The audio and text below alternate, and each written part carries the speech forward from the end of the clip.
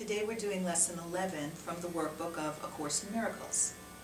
Lesson 11. My meaningless thoughts are showing me a meaningless world. My meaningless thoughts are showing me a meaningless world.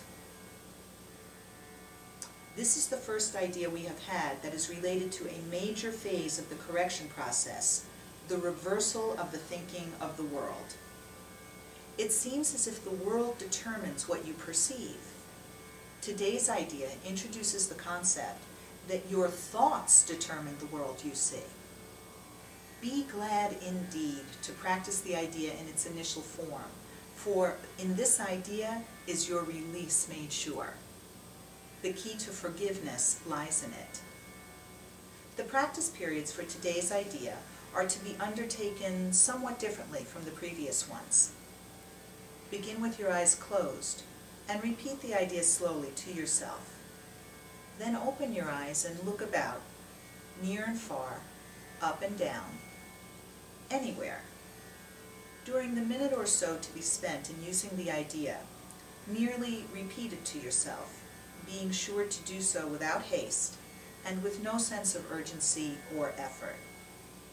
To do these exercises for maximum benefit, the eyes should move from one thing to another fairly rapidly, since they should not linger on anything in particular. The words, however, should be used in an unhurried, even leisurely fashion. The introduction to this idea in particular should be practiced as casually as possible.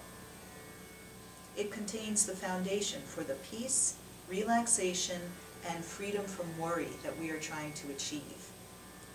On concluding the exercises, close your eyes and repeat the idea once more, slowly to yourself. Three practice periods today will probably be sufficient. However, if there is little or no uneasiness and an inclination to do more, as many as five may be undertaken. More than this is not recommended. Lesson 11. My meaningless thoughts are showing me a meaningless world. If you'd like to read my commentary on the workbook this year, go to amytorresasum.com and click on Amy's blog. Namaste.